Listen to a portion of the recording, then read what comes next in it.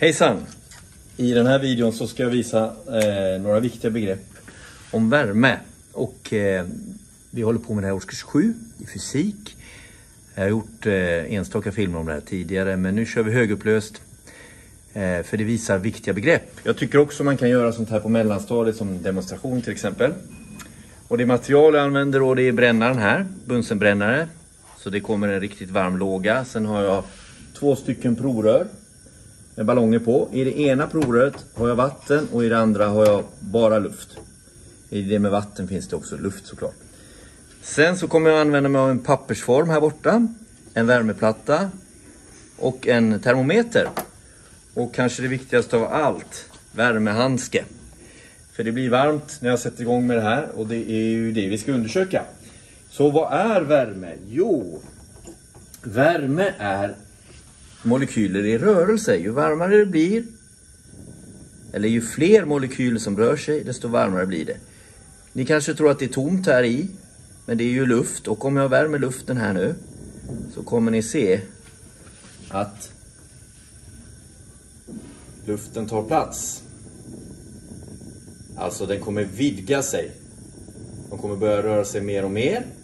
Och den här ballongen som jag har på toppen kommer då att utvidgas. Så värme är partiklar i rörelse. Och i det här fallet då är det massa kväveatomer och syre och lite koldioxid som rör sig i provröret. Och det rör sig mer och mer ju mer jag värmer på det. Men när man gör ett sånt här försök, hoppas att det syns här i kameran där, så är det viktigt att eh, rikta bort öppningen på provröret. Alltså att ingen får det här mot sig. Och så ska man vara lite försiktig för det blir väldigt varmt så det kan spricka. Det här är gamla stora provrör som jag har hittat. Det blir ju bättre effekt ju mer luft jag värmer upp. Vad är då skillnaden mellan värme och temperatur? Jo, temperatur är hur fort de här molekylerna rör sig. Så det kan bli en väldigt hög temperatur, då betyder det att de rör sig väldigt, väldigt fort. Medan värme kan man säga är energin, antalet partiklar som rör sig. Så det är inte alltid att det är liksom mest energi när det är högst temperatur. Om du till exempel har en liten kaffekopp som är fylld med hett kaffe så har det hög temperatur. Men om du fyller en hink med ljummet vatten så har det mer värme för att det är mer partiklar i rörelse i vattnet. Så det är energi. Nu ser ni, det händer inte så himla mycket här. Ja, de har värmts upp så jag kan värma lite mer skulle jag kunna göra. Men vi ser i alla fall att det har utvidgats och att ballongen har växt. Om jag sätter ner den här så kommer den... Oj. Det var så varmt så provrörstället tog lite eld. Ett gammalt provrörställ också. Nu testar vi när vi har vatten i. Vad händer då? Ja. Det kommer ju börja röra sig och det kommer ju bildas vattenånga. Men eh, då är frågan, tar vattenångan kanske mer plats än luft eller blir det likadant eller tar det mindre plats? Nu kommer vi in på ett annat viktigt begrepp. Och det är vattnets värmekapacitet som vi ska titta närmare på. Och det betyder att det tar ganska lång tid att värma upp vatten faktiskt. Om ni jämför med luften här så händer det inte så mycket. Oj! Just nu. Eh, och det beror på att det tar tid för vattnet att värmas upp. Men när det väl övergår till vattenånga och det sker vid 100 grader Celsius då kommer ju de här, det kommer ju redan nu faktiskt att börja avdunsta molekyler. Det behöver inte bli 100 grader för att det ska avdunsta. Ni ser att det bubblar där och det är inte luft utan det är vattenånga som bildas i provröret. Och eh, ja, Ballongen är nu samma storlek som när vi hade luft. Vad händer om jag fortsätter att värma? Lämplig ballong har jag hittat också. Det är en studentballong. Passar bra för nu är det inte långt kvar till studenten. För ni som går på gymnasiet. Okej, nu börjar det koka här. Det bildas massa vattenånga i provröret som ni ser och den stiger upp i ballongen. Som då blir mycket större. Och kanske rent av spricker.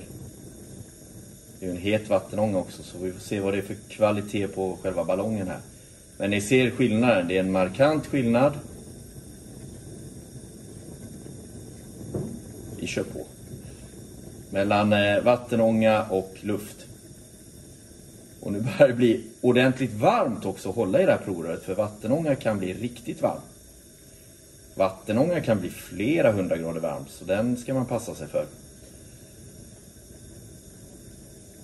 Får vi med hela ballongen? Jo då. Ja. Ni ser skillnaderna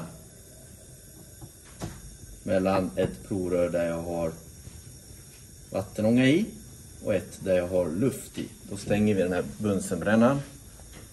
Och så tar vi en bild. Också igen. Eh, nu har jag satt på värmeplattan här och jag har ställt en kastrull med papper, eller en pappersform, och i den har jag vatten. Eh, vi ska prata lite om det här med hur värme kan spridas. Och om ni tittar uppmärksamt nu så ser ni att det ser rött ut från eh, värmeplattan. Och då strålar värmen när den kommer som eh, infrarött ljus till exempel. Man kan känna värmestrålning, man kan känna strålning från solen, hur det blir varmt på huden. Och man är inte i kontakt med någonting. Men den här kastrullen är i kontakt med plattan och det är därför det börjar hända någonting här. Och när någonting är i kontakt då säger vi att det leds in i kastrullen. Så när det håller i någonting till exempel höjde jag det här provröret innan, då leds värmen in i handen. Eller ja, om man håller den med en hand. Så det är två sätt. Det kan eh, stråla och det kan ledas. Eh, det sista sättet är det som sker här i vattnet. Det sker ofta i vätskor, eller det sker alltid i vätskor eller i luft. Även i plasmatillstånd i solen och då eh, rör sig värmen, värmen får det här vattnet att eh, virvla runt kan man säga. Det varma vattnet stiger, kyls av, sjunker och så vidare. Samma sak sker på solen. Nu har det blivit ganska varmt här i vattnet. Och eh, pappret kokar inte. Och det beror helt enkelt på att det är vattnets... Jag kan kolla hur varmt det är här. Och Det är vattnets eh, värmekapacitet Alltså det tar tid att värma upp, men sen så tar vattnet all värmen som, alltså all värme som leds in går in i vattnet. Så pappret hinner inte bli så varmt. Eh, så så länge det finns vatten kvar här så kommer det inte börja brinna i papperskastrullen. Om vattnet däremot kokar bort, då stiger ju temperaturen i papperskastrullen och den börjar brinna. Och vattnet kokar bort när det blir 100 grader, då övergår det till ånga. Och så får man ju vänta en stund då tills allt vatten har övergått till ånga och sen så blir det ännu varmare i pappret. Men så länge det finns vatten i så kan det inte bli varmare än 100 grader för att eh, det är vattnets kokpunkt. Och det är också en en, ett viktigt begrepp att förstå. Att vattnet, kokande vatten, även om jag värmer på ännu mer, tar en kraftigare värmeplatta här, drar på temperaturen mer än max liksom. Eh, det går snabbare att koka då. Det märker ni på spisen om ni sätter det på högsta temperatur så att säga. Men eh, det blir faktiskt inte varmare än 100 grader. Så ja, nu är vi uppe i 85. Jag behöver ett par värmehandskar känner jag. Det börjar bli varmt här på mina händer så jag eh, pausar en sekund och sen sätter jag på mig värmehandskarna. Okej, tillbaks igen. Nu kokar det. Ska vi se temperaturen här i. Oj. Upp och ner var inte så snyggt. Kommer över 100 grader. Borde jag då inte göra eftersom vatten inte blir varmare än 100 grader när det är i flytande form. En annan sak som påverkar vattnets kokpunkt eh, som vi också tar upp här i sjuan är ju det här med luftens tryck. Vattnet kokar här i 100 grader om vi befinner oss vid normal havsyta. Och det beror på att eh, luften trycker emot, håller emot. Eh, när ångan ska omvandlas vattnet ska omvandlas till ånga. Om vi åker uppåt eller kokar vatten på en högre höjd, då är trycket lägre, så luften trycker inte emot lika mycket. Och då kan faktiskt vattnet koka redan vid 70 grader. Det sker till exempel på toppen av Mount Everest. Inte ens värmehandskarna hjälpte här. Det är så varmt nu. Och ni ser här på kanten av papperskastrullen där det inte finns vatten att jaha, det börjar eh, liksom brännas lite. Pappret börjar bli brunt. Nu är jag uppe i 97. Zooma in lite. 94. Men man ska ju inte nudda själva botten för då kommer jag över 100 grader. För om jag sätter termometern på botten av kastrullen då är det värme på plattan och den är över 100 grader.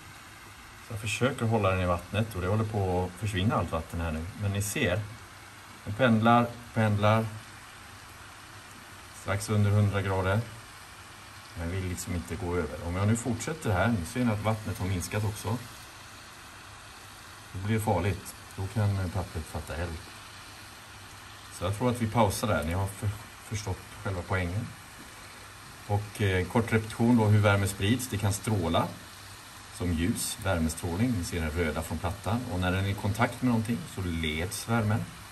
Den leds in i papperskastrullen. Och eh, då börjar ju vattnet att röra på sig. Det Kallas konvektion också. Sker i luft och vätskor. Eller strömning. Ett annat ord för det. Okej. Okay. Det var det om värme.